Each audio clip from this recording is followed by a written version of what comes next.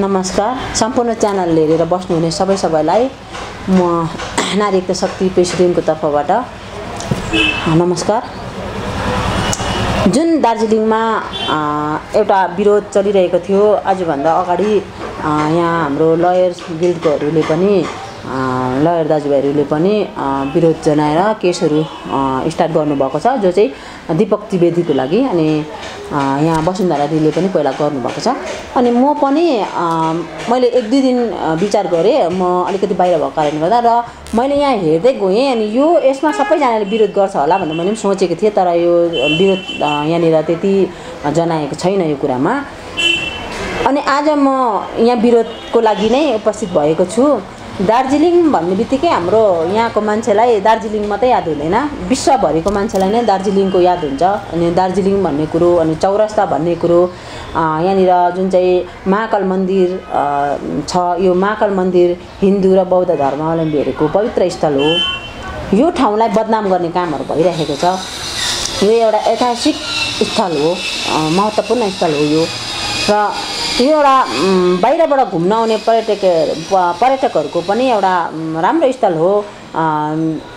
जसमा चाहिँ यहाँ आएर दार्जिलिङको मनोरम दृश्य हेरेर फर्किन्छ यहाँको पर्यटक त्यहाँ बाहिरको पर्यटकहरू है। अनि घुम्न आउँदा यसरी नै घुम्न आउँदाखेरि गुजरातको दिपक त्रिवेदी राजकोटले पनि दार्जिलिङ आएर घुमेर चौरस्ता एरियाको फोटो खिच्दै खिच्दै नेहरू रोडपट्टि गएर नेहरू रोडको फोटोहरू भाइ बहिनीहरू हाम्रो बुढाबुढी यहाँको सम्पूर्ण घुम्ने जाने मानिसहरूको फोटोहरू खिचेर यो सबैलाई चाहिँ भिडियोमा अपलोड अप गर्दै गर्दै युट्युबमा अपलोड गर्दै भिडियो गरेर अपलोड गर्दै चाहिँ उसले चाहिँ के भन्यो भन्दाखेरि यो एरिया चाहिँ रेड लाइट एरिया हो भनेर उसले प्रचार गर्दै गयो। भिडियोमा युट्युबमा अपलोड गरिदियो है। अनि यसरी अपलोड गर्दाखेरि चाहिँ अब हामीलाई एकदमै मनमा लागेको छ यो दार्जिलिङ एरिया रेड लाइट एरियै होइन। अनि यो एरियालाई यस्तो प्रकारले बदनामी गर्दाखेरि चाहिँ हाम्रो मन मान्दैन। त्यसले गर्दाखेरि चाहिँ दिपक त्रिवेदीलाई चाहिँ हाम्रो क्षेत्रको न ज्ञान छ न यो ठाउँको जानकारी छ यस्तो नराम्रो टिप्पणीहरू गर्दै भिडियो अपलोड गर्नु भनेको चाहिँ हाम्रो क्षेत्रमा साथै यहाँको नारी जातिमाथि घोर अपमान गर्नु हो घोर अपमान हुनु हो। यसको लागि चाहिँ म दार्जिलिङ नारी एकता शक्तिको तर्फबाट एकदमै घोर विरोध जनाउँछु घोर विरोध जनाउँछु। अनि म यहाँ यो पनि भन्न चाहन्छु कि यहाँ जति पनि सङ्घ संस्था छ जति पनि पार्टीहरू गर्ने राजनेताहरू छ राजनीतिज्ञहरू छ पढालेखा छ बुद्धिजीवी छ उहाँहरूलाई पनि यो कुरामा चाहिँ अघि आउनुपर्छ भन्न चाहन्छु म। अघि आएर विरोध जनाउनुपर्छ। आज दार्जिलिङलाई यति डरलाग्दो बदनाम गरिरहेको छ।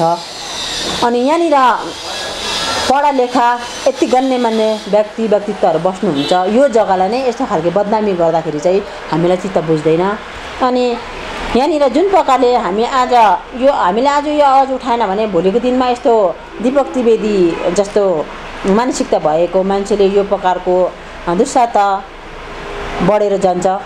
साथै का साथै यस यसै कारण भोलिको यो भोलिको यस्तो घटना रोक्नुको लागि चाहिँ आज नै सबैजना को सबैजना एक भएर सम्पूर्ण जाति एक भएर चाहिँ विरोध गर्नु चाहिँ एकदमै जरुरी लागेको छ मलाई जरुरी छ। हाम्रो क्षेत्रमा राष्ट्रपिता महात्मा गान्धी जवाहरलाल नेहरू सिस्टर निवेदिता साथै अन्य महान व्यक्तिहरूले पहिला टेकेको जग्गा हो यो। अनि यहाँ हाम्रो बङ्गालको मुख्यमन्त्री माननीय सुश्री ममता ब्यानर्जीज्यू पनि दार्जिलिङ आउनु हुँदाखेरि चौरस्ता माल रोड चौरस्ता माल घुम्नुहुन्छ। उहाँले पनि यो जग्गाको परिदर्शन गर्नुहुन्छ। त्यसले गर्दाखेरि चाहिँ यो जग्गालाई यति डरलाग्दो बदनाम गर्ने काम गरेकोले गर्दाखेरि चाहिँ यो दिपक त्रिवेदीलाई एकदमै कठोरभन्दा कठोर सजाय हुनुपर्छ। यसको माग गर्छु म। अनि म यो जुन प्रकारले यो चिठीहरू म दिँदैछु यहाँ हाम्रो मैले एमएलए जुन निरज जिम्बाज्यूसँग मैले बात मारिसकेको छु सायद आज दार्जिलिङ आउनु भने उहाँसँग म भेट गर्छु। अनि उहाँलाई पनि म चिठी दिँदैछु दार्जिलिङको विषयमा उहाँ यहाँको एमएलए हुनुहुन्छ। अनि राजु विष्टज्यू उहाँलाई पनि म चिठी दिन्छु उहाँ पनि यहाँको एमपी हुनुहुन्छ। अनि यसरी नै हाम्रो बङ्गालको सिएम माननीय सुश्री ममता ब्यानर्जीज्यूलाई पनि म चिठी फ्याक्स गर्दैछु। उहाँले पनि दार्जिलिङलाई एकदमै माया गर्नुहुन्छ दार्जिलिङ आएर बस्नुहुन्छ। यसको साथमा म गुजरातको विजय रूपानीलाई पनि चिठी फ्याक्स गर्दैछु।